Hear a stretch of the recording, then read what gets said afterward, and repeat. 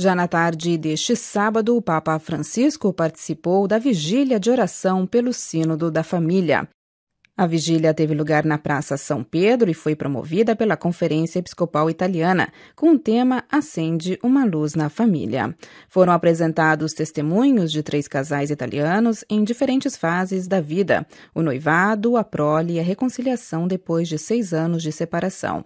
No final deste evento, o Papa Francisco dirigiu-se aos cerca de 40 mil fiéis para ressaltar que a família continua a ser escola incomparável de humanidade. La comunione di vita assunta dagli sposi, la loro apertura al dono della vita, la custodia reciproca.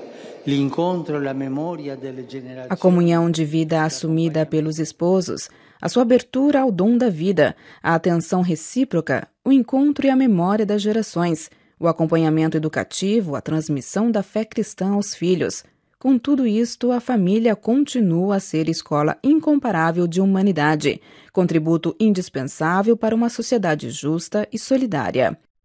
A família é uma escola que encontra no Evangelho a força e a ternura para enfrentar os momentos de infelicidade e de violência, assim observou o Santo Padre. No Evangelho, disse ele, está a salvação que preenche os desejos mais profundos do homem. Desta salvação, obra da misericórdia de Deus e de sua graça, como igreja somos sinal e instrumento, sacramento vivo e eficaz. O pontífice identificou três atitudes importantes com as quais se poderá renovar a igreja e a sociedade para assumir com responsabilidade pastoral as interrogações que esta mudança de época nos traz. A escuta e o confronto sobre a família, com o olhar de Cristo. Para Francisco, para buscar aquilo que o Senhor pede à sua igreja, é preciso ouvir o pulsar desse tempo e sentir o odor dos homens, até se impregnar de suas alegrias e esperanças, de suas tristezas e angústias. A este ponto, saberemos propor com credibilidade a boa notícia sobre a família.